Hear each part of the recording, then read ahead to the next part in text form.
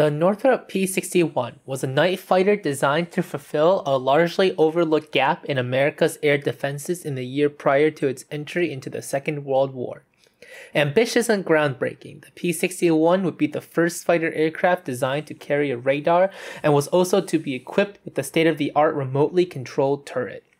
However, the aircraft suffered numerous technical problems, leading to many delays in its development and more than a few faults even making their way into operational aircraft. Despite its quirks, the plane proved to be popular with its pilots, effective in service, and far more capable in its mission than preceding American night fighters, while also proving itself effective in roles not envisioned at the time of its design. Hello, and welcome to another Plane Encyclopedia voiced article. I'm your host Butane, and today we're looking at the P 61 Black Widow. With very little accomplished during the interwar period with regards to night fighter research in the US, the P 61 would be designed with the early lessons of the Second World War in mind. Thankfully for the Air Corps observers, the London Blitz would demonstrate exactly what was needed to face any threats from the air. They recognized that they needed a modern air force which would cooperate with sophisticated detection and communication networks to form a comprehensive air defense system that would leave any attacker badly mauled, day or night. Brigadier General Tooey Spaatz was the primary observer for RAF night fighting operations, and it was no coincidence that he later became chief of the Air Corps Material Division at Wright Field. While the British night fighter services were extremely crude at this point in the war, they presented a much better starting point for US planners than the virtually useless interwar experiments. Spaatz's efforts largely shaped the requirements for the Air Corps' night fighter, these being relayed to Northrop's chief of research, Vladimir Pavlecka, while he was at Wright Field working on another project. Alongside a set of specifications, he was told that the plane would need to be a two engine aircraft with a crew of two, a pilot and a radar operator, though the specifics of radar were not disclosed. At this time, Northrop was a new company and made for an obvious choice, as they had previously worked on a night fighter design for the British and were one of the only firms that were not already at capacity at the time. Soon, this new aircraft, designated the Air Corps Night Interceptor Pursuit Aeroplane, began to take shape. It would be powered by a pair of Whitney double wasp engines, carried in nacelles that would be connected by a twin boom tail and joined to the fuselage through the wings.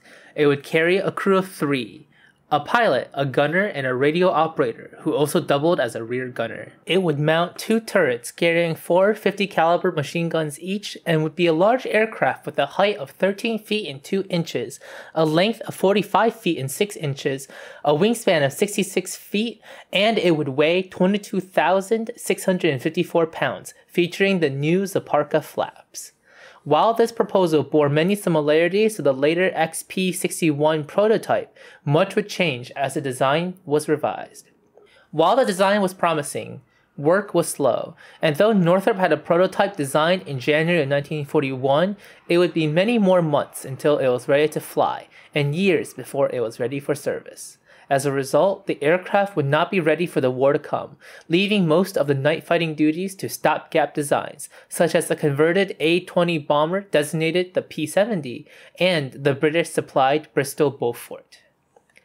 While American night fighter pilots had their first experiences in combat during 1942 and 1943, work on the new XP 61 continued. The program truly got underway in early 1942 after several contracts were issued. It was decided in February of 1942 that 410 aircraft would be procured and the delivery of the first 12 was to take place in April of 1943, with the final aircraft being handed over in January of 1944. However, contract negotiations saw the number of aircraft requested rise and fall significantly in the following months. In addition to deliveries to the USAAF, 50 P 61s were to be set aside for Lend Lease though this was later dropped due to a lack of RAF interest in the aircraft. The XP-61 was the first prototype, and in tests was found to have numerous structural and technical faults relating mostly to its engines and armament. With many of these issues resolved, prototyping continued with a second prototype designated the YP-61. However, some issues remained, and several would make it into the first production models of the aircraft. Its greatest problems involved buffeting issues when the turret was rotated, its plexiglass dome could deform under tropical conditions, and its rear lucite dome imploding when the aircraft maneuvered at high speed. In spite of its teething issues, the general flying characteristics earned the aircraft good marks from test pilots, exceeding Northrop's guaranteed performance by 1 mile per hour during speed tests, and was remarked upon by production project engineer Captain Fred Jenks as follows. The P-61 is an honest airplane. It has no mean tricks. In acrobatics such as loops, spins, Immelmanns, and fast turns, it behaves as a pursuit plane should. Its stalling gestures are near perfect. The first P-61A rolled off the line in October of 1943 at Northrop's plant in Hawthorne, California. A public reveal later occurred at an Army-Navy show in Los Angeles in January of 1944. These aircraft were largely unchanged from the last P 61 pre production aircraft, although this plane and the next 36 P 61As would be the only examples of the A model to be equipped with a remotely operated turret. The turret would be absent from the remaining 200As and many of the succeeding B model, only to be reintroduced after a redesign. While the aircraft would largely resemble the early prototypes, there had been more than a few major reworks of the airframe most notably the dropping of the ZAP flaps for near full span types with an added lateral control system which made use of spoilerons. While these did prove troublesome in testing, the faults had been ironed out and the system worked to the satisfaction of pilots. The final configuration made use of slot covers and seals for the spoileron slots that solved the vibration patterns and allowed for great lateral control for such a large aircraft while requiring little force on the part of the pilot. It was particularly useful during landings, where they were allowed for precise control on approach thanks to the automatic adjustment of the lateral control system with the flaps. This system was a major factor in making this fighter amongst the most maneuverable in the USAAF inventory, in spite of it being also the largest and heaviest. Pilots would find the P 61 a very maneuverable and forgiving aircraft to fly, and were particularly appreciative of its excellent landing characteristics, which made landing in the dark a far less daunting prospect. Likewise, they would also appreciate its heavy armament, even as though roughly half of the P 61s lacked the remotely operated turret. They could still make short work of any aircraft it came across with its four 20mm cannons. Its avionics were quite impressive, especially its SCR 720, which was state of the art. Though pilots did have their complaints, as most found the view from the cockpit heavily obstructed by its frame, some felt the cockpit instrumentation was cluttered, and virtually all of them felt the aircraft lacking in acceleration and climb rate. Its greatest fault, however, lay in its crew layout, which placed the radar operator in a separate compartment, away from the other two. Should the intercom fail or the tail cone implode, the pilot would be without radar direction after the plane was guided to its target by a ground based station. Though, in spite of its flaws, American night fighter pilots found it a welcome and much needed improvement over the near useless P 70 and the vulnerable but demanding Bristol Beaufighter. Ground crews were somewhat less enthusiastic about the aircraft than those who flew them. The plane represented a massive step up in terms of performance, but these improvements were matched by an increased technical complexity. The P 61 was a maintenance intensive aircraft, and ground crews found the SCR 20 difficult to service, especially as spare parts for the aircraft were rare due to its comparatively small production run and issues with the radar's pressurized component being sensitive in tropical climates. Overall, the P 61 would present an aircraft with mixed but generally favorable characteristics. It was not until July of 1944 that the P 61s actually flew their first combat sorties over Europe, with several months prior to this being taken up by training, including joint exercises with the RAF and a race between the P 61A and a de Havilland Mosquito NF Mark 17. The latter was precipitated by a rumor that the USAAF was planning to replace the P 61 with the Mosquito. The race off was an event long in the making, when its roots in the War Department's desire to purchase de Havilland Mosquitoes for use as reconnaissance aircraft and night fighters. In any case, the Mosquito was an essential part of ongoing RAF operations, and the British were tight fisted when it came to supplies of the aircraft. This, however, did little to prevent a story from breaking out that claimed that P 61 squadrons would soon be replacing their planes for Mosquitoes. The rumors soon filtered to the squadrons who were upset enough to propose a fly-off between the types. A demonstration was arranged on July 5, 1944 at RAF Station Hurn. The contenders were a P-61A and a Mosquito NF Mark 17. The results being that the P-61 outclimbed and outturned the Mosquito between 5,000 and 20,000 feet. The race was anything but clear cut, and it is extremely unlikely that it was just a fair competition that both sides took it part earnestly. Simply put, the RAF did not want to give the USAAF any more mosquitoes than they absolutely had to, and were extremely motivated to throw the race. They had a great desire to ensure that they were better supplied with the only night fighter in Allied service at the time that could fly long range missions into Germany.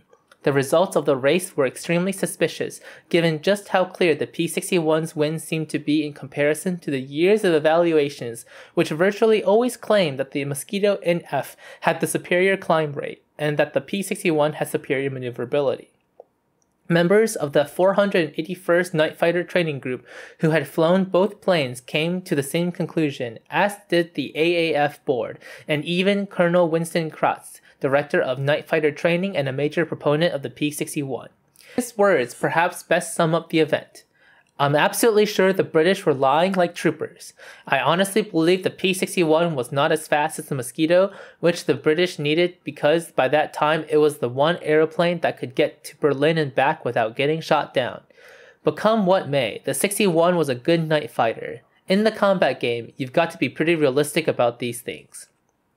The first real test of the P-61 in Europe came in July of 1944, when they were pressed into service against a new threat, the Fieseler 103 flying bomb or buzz bomb.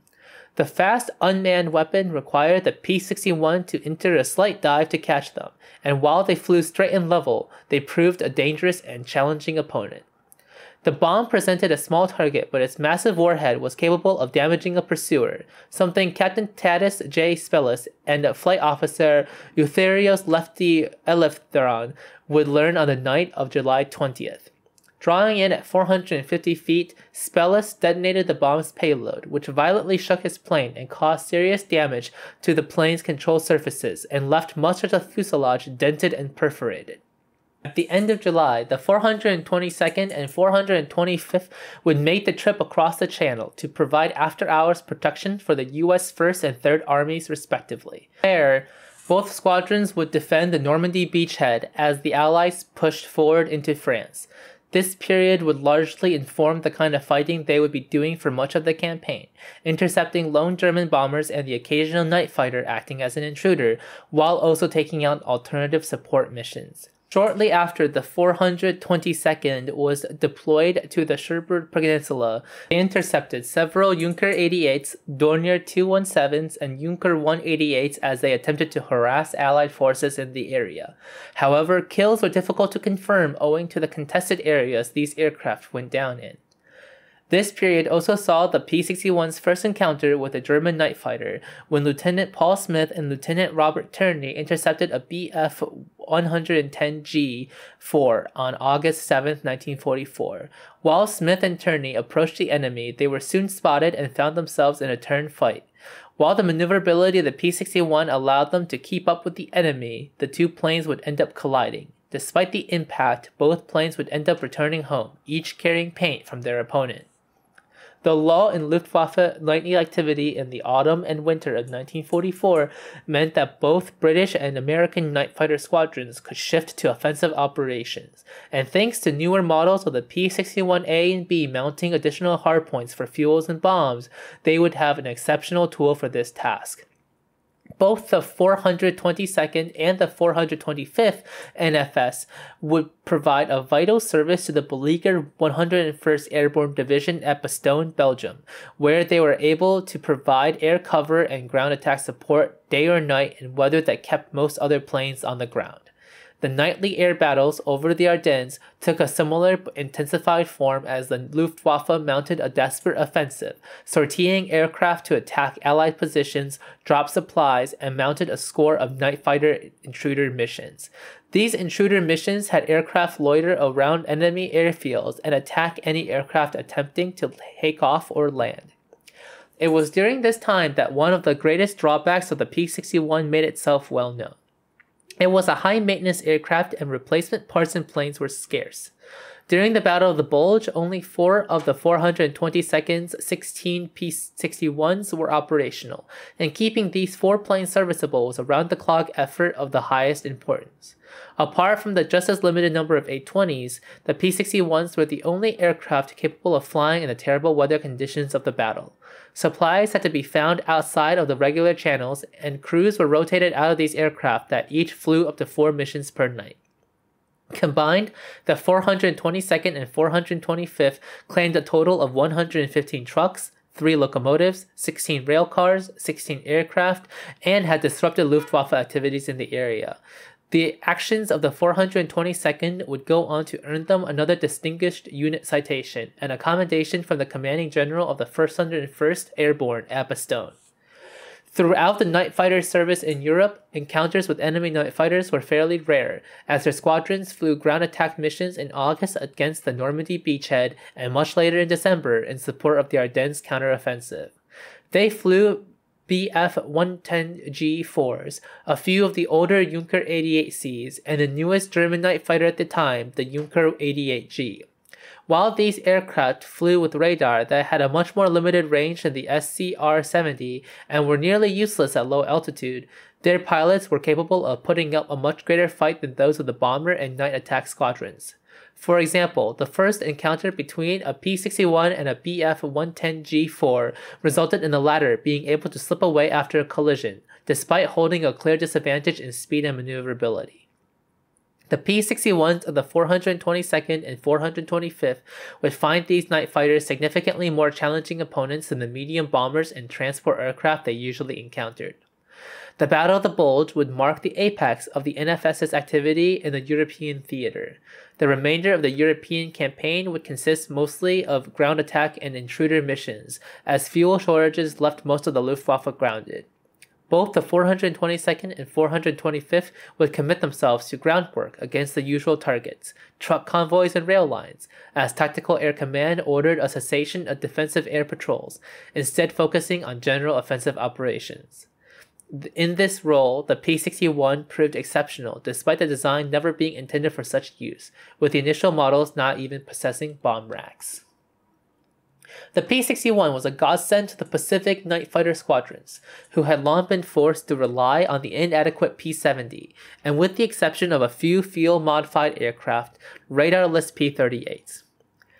Starting from early 1944, the various night fighter squadrons in the Pacific Theater of Operations would begin receiving P 61s and phasing out their long obsolete P 70s. Unlike Europe or the Mediterranean, the operations in the Pacific would not proceed at the pace of a gradual front line that needed to be supported, but rather saw the squadrons deployed to newly constructed airstrips in support of larger amphibious squadrons, which were targeted by raiders. Conditions were poor and extremely hard on airmen and planes alike, which brought unique challenges not known to those in the European theater. In the words of Sergeant Harold Cobb of the 421st Flight Squadron, Night fighting is not glamorous, but it is specialized in every degree, especially in the seven league boots island hopping war in the Pacific. Pilots must be able to take off and land without strip lights, and on fields which are so new that construction is still in progress and the Seabees are still working. Night fighter pilots in the Pacific faced horrible conditions which outstripped those in Europe, the Mediterranean, and Central Asia in their ability to wreak havoc on men and equipment alike. The prepared airfields were often built under difficult circumstances and challenging geography. The Seabees often had to work with coral beds, wetlands, and jungles that proved time consuming to develop into useful airstrips, often leaving little time and resources for improving the living conditions at these airfields. These conditions were also felt by the sensitive radar systems of the aircraft, especially the pressurized containers which contained many of the system's vital components. They had a tendency to depressurize, which resulted in electrical arcing at altitude, disabling the whole system. Earlier models of the P 61A, which still had the plastic radome, also encountered trouble in the tropical heat and sun, as the nose of the aircraft would often soften and deform, which would impact the movement of the SCR 720 scanner. In addition to the reflective white paint added to the nose, crews would fasten sun shields while grounded to protect the radome and the tropical heat. As was the case with the European squadrons, supplies of replacement parts and aircraft were scarce, and in a unique twist in the Pacific, the improper packing of engines resulted in the loss of 400 R 2800s to corrosion. Combat readiness suffered as a result. The 421st considered a good day should six of their aircraft be operational during their operations from their later airbase at Tacloban in the Philippines. Japanese night raiders were a fixture of the war in the Pacific since their campaigns over Guadalcanal. Their targets ranged from troop positions to airfields, though they would increasingly target shipping at night as the war drew on. Despite being significantly less experienced with the use of ground based and airborne radars than the Germans, Japanese aviators and mission planners consistently demonstrated the ability to develop effective countermeasures and tactics to American night fighters. Japanese signals intelligence services would also prove extremely effective and were able to determine the presence of enemy night fighters in areas without radar coverage by monitoring radio transmissions, and were even able to track the position of P 61s by their IFFs. They would also successfully employ chaff on a number of occasions, though to decreasing effect, as the US Army began to employ more advanced centimetric search radars that were less vulnerable to it. In addition to this, they would also employ seaplanes to get the attention of night fighters, and once they had drawn them away from the raiders' target, they would land on the water surface or return home at low altitude. This tactic appeared to have been used against the P 61s of the 421st Night Fighter Squadron while they were at Tacloban in the Philippines, and to good effect, as the loiter time of the P 61 was rather low, and they were often forced to return home after several of these non encounters. The P-61C would be developed to largely fulfill the requests of most of the pilots who had flown P-61As and Bs. The design sought to add two major features more powerful turbocharged engines to provide better high altitude performance and a higher climb rate, as well as a set of air brakes. The air brakes would be designed by AAF's Wright Field staff in conjunction with Northrop. The design first incorporated on a P 61A test aircraft which was nearly lost after a portion of the air brake had sheared off the aircraft and nearly sent it out of control. The final design proved satisfactory and took the form of a two part slotted panel with halves above and below either wing. While the P 61C came far too late to take part in the Second World War, it would go on to make major contributions to meteorological research and aeronautic safety in the post war Thunderstorm project. The project began with the passing of H.R. 164 in January of 1945, which authorized and directed the Weather Bureau to conduct a study on the causes and characteristics of thunderstorms in the interest of aviation safety.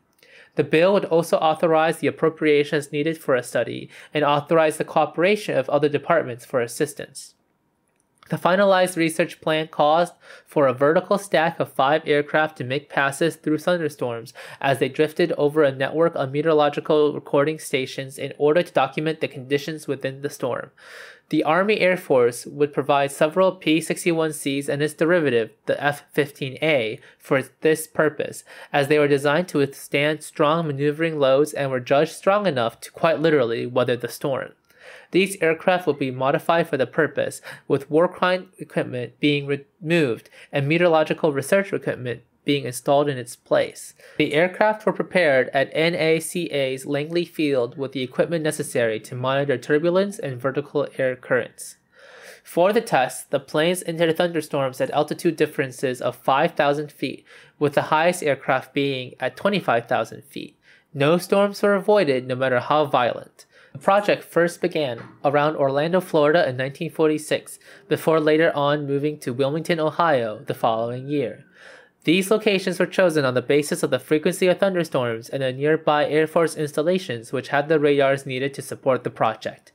The project would see the P 61s fly through 76 storms for 1,362 fly throughs, during which they collected vital data that would help pave the way for safer air travel during the post war civil aviation boom, and were used to build a foundational study for thunderstorm research. And that's it for the illustrious career of the P 61 Widow, America's wartime night fighter aircraft. If you liked this Plane Encyclopedia Voice article, please like, subscribe, hit the bell so that we can be notified when new content comes out. As always, keep us in your sights.